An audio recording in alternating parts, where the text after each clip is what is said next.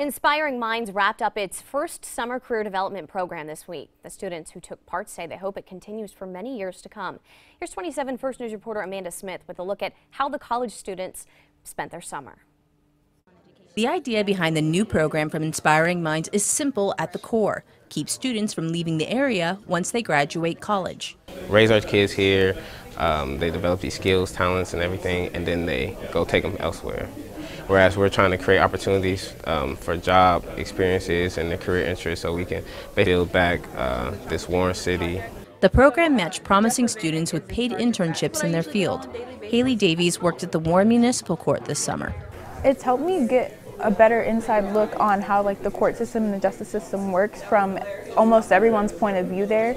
She watched lawyers, bailiffs, and the public. It's very eye-opening and it's made me want to do law enforcement even more.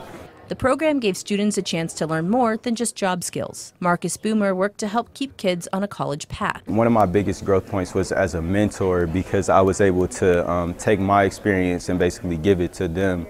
In Warren, Amanda Smith, WKBN 27 First News.